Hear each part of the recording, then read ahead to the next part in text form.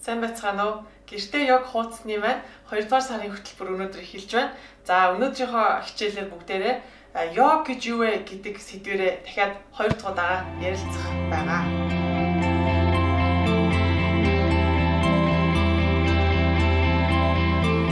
За өнөөдрийнхөө хичээлээр бүгдээрээ йог гэж юу вэ гэдэг сэдвээ арай нөгөө судар бичгийн талаас нь те одоо он цаг үеч үе үеийнхэн талаас нь ярих гэж одоо би бэлтлээ.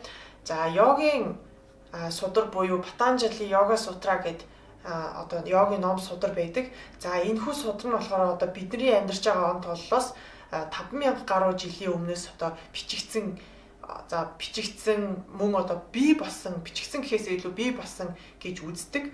За тэгээд одоо 5000 жилийн өмнө л одоо бид нар йог гэдэг юмыг те одоо тэр э, хүн яавал ямар замаар явах юм бол илүү тэр төгөлдөр болох вэ гэдгийг одоо бидний хүн төрлөختөн мэдчихсэн гэсэн үг. За ингээд яриад эхлэхээр болохоор одоо бидний нөгөө сурсан те матер анхдагч гэдэг юм уу хүн одоо мичнээс үүссэн гэдэг энэ онолтой ингээд зөрөө явцдаг байгаа. За тэгэхээр магадгүй яг одоо ерөөхдөө бол манай монголчууд бол одоо соёл ахуйгаараа илүү байгальтайгаа ойрхон ерөнхийдөө одоо илүү одоо нөгөө нэг тэр сүнслэг сүнслэг оршихуй те бидний тэр нөгөө дотоод ухамсар гэдэг зүйлийг одоо бусад үндэстэнгээс ялангуяа тэр нөгөө барууны үзэлтэй хүмүүсээс одоо илүү чанагч давсан гэж одоо би боддог. Яг уу сүүлийн он жилүүдэд бид нэр соёл уламжлалаа одоо дайн дажны замд гээгээд жоохон төөрчгсөн боловч ерөнхийдөө л одоо бид нэр цайныхаа дээжийг өргөдөг те бурхан шүтэнтэй залбирдаг ч гэдэм үү ямар ч л хэлсэн бид нар нэг тийм зөвхөн бидний энэ физик биеэс гадна бас нэг тийм оршихуй байдаг гэдгийг багаасаа нэг тийм ухамсарлцсан арт түмэн гэж одоо боддог. Ер нь дорны соёлтой хүмүүс чинь нэг тиймэрхүү байдаг шүү дээ. Аливаа юмд ийм одоо залбирдаг тэр нэг юм өөр нэг тийм оршихуй байдаг гэдгийг одоо багаас хүлээн зөвшөөрсөн ийм амьдралтай. За энэ хүү судар судар бичигт одоо юу гэж одоо бичигдсэн байдаг вэ гэхээр йог маань А за ерөөхдөө их тийм амархан ойлгочих гэх юм бол 8 үе шаттайгаар тэр хүн өөрийнхөө тэр дотоод ухамсар руу нэвтэрдэг гэж үздэг. За энэний маань эхний хоёр шат нь буюу яма, ни яма гэсэн хоёр одоо шат байдаг. За тэрэн дээр нь болохоор хүний тэр нөгөө ёс суртахууны тухай өгүүлсэн байдаг. Жишээлбэл одоо бид нар багасаа л сонсдог те хулгай хийж болохгүй, хүнд худлаа ярьж болохгүй.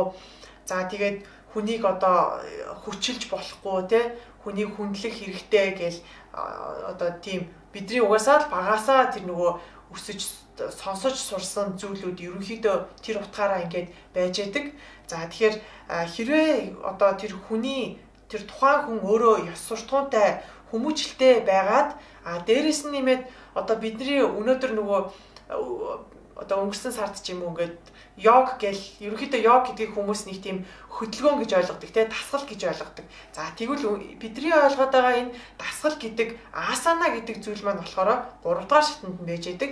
За тэгээд ерөнхийдөө та их тийм хүмүүжлтэй ёс суртахуунтай тэгээд дээрэс нь бие махбодтай нэм хөдөлгөөн одоо хөдөлгөөн тань саад учрахаар тийм мах бие махбод чинь тийм юу яцсан баригдсан биш ийм эрүүл саруул оршихуйтай бие махбодтой байх юм бол цаашаага таны амьсгал маш тийм сайхан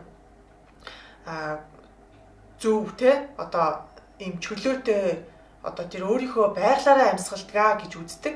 За тэгээд хэрвээ та байглаараа амьсгалж чадчих юм бол байг одоо йогийн сударт тэр явуулсан маш олон ийм амьсгалын техникүүд байж идэг. За тэгээд ингэж амьсгалынхаа техникээр бид нар өнөөдрийг хүртэл ингэж одоо хоригдлуулсан янз бүрийн таагүй те тэр биеийн болоо сэтгэлийн таагүй зүйлүүдийг тэр амьсгалын техникээр одоо цэвэрлж болох тийм одоо сургаал номлол байдаг. А ингээд энийг даваад те бид нар өдөр тутамдаа тэр асана буюу одоо йогийн хөдөлгөөнийг хийгээд тэгээд амьсгалтай тэгээд дээрээс нь ёс суртахуунтай болоод цаашлах юм бол одоо бидний нөгөө төвлөрөл бий болж болно гэж үздэг. За тэгээд ингээд төвлөрөл бий болоод ерөнхийдөө нөгөө өөрсдийнхөө тэр сэтгэл хөдлөл одоо бид нар бол сэтгэл хөдлөлтөө бол бүр дээд зэргийн ингээд автцсан хүмүүс шүү дээ тий. Хамгийн түрүүнд одоо өлслөө гэхэд л шууд юм идэгч гэдэг юм уу нэг гой сэтгэлээ сэргээгээд кино үзчихье гэх юм бол кино үзсэн ч гэдэг юм уу.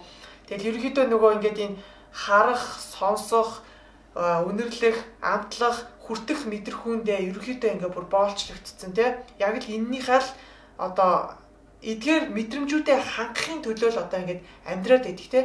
А гэтэл йогийн одоо тэр шат дамжлагаар явсаар агаад тэр төвлөрөл гэдэг зүйл бий болох юм бол бид нар яг энэ 5 мэдрэхүүгээ өөрсдийнхөө тэр ухамсараар тий ерөөсөө тэр зовхгүйгээр одоо жишээлбэл за тамхичин хүн байлаа гэхэд би тамхинаас гарахынсан гэж одоо имиж бодлогоогоор зүгээр л би гарна гэсэн бол гарна. За жишээлбэл одоо өлслөө гэхэд л одоо өлсгүй байх талаас нь тий ерөөсөө яг энэ мэдрэхүүнүүдийг бол бид нар өөрсдийнхөө тэр ухамсараар ийм чөлөөтэй одоо өдөртөж болох тэр одоо өөрийнхөө дотоод нөөц бололцоод хүрнэ гэж үздэг. За ингээд цаашаага бидний нөгөө бясалгалын мөн чанар одоо сэргэж эхэлнэ. Одоо бидний ингээд үлгэр дээр хүртэл Монгол хардын үлгэр домгууд дээр хүртэл гардаг штэ тэ их тийм сонин сонин юм гардаг. Одоо нисэх мессэгч гэдэг юм уу те тичнээн газрыг тэтгэн хормын дотор туулаад ч гэдэг юм уу эсвэл одоо нөгөө тэдэн уулын цаадах зүйлийг бид нар ингэж сонсоод ч сонордоод ч гэдэг юм уу эсвэл одоо тэдэн бээрийн хоолтыг ингэж хараат ч гэдэг юм уу. За энэ бол яг хүний тэр оршихуд үнэхээр одоо та өөрөө өөрийнхөө тэр 5 метрхүү хумайд тэр бяцлаглалын төвшөнд ирээд дотгошоогоо өнгөж чадах юм бол та эдгээр зүйлүүдийг хийж чадах юм потенциал боломж тэр хүнд өөрт нь байдгаа гэж үздэг.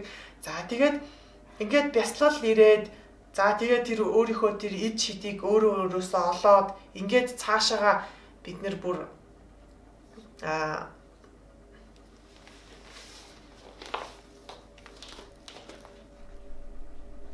ингээд цаашаага бүгдээрээ энэ хүү орчлонгийн хүлээс буюу те одоо бид нар ингээд дахин төрлийг олоод ингээд яагаад бид нар ер нь дахин төрлийг олоод ингээд амьдраад байдаг вэ гэж та бүхэн хэрэв бодож исэн бол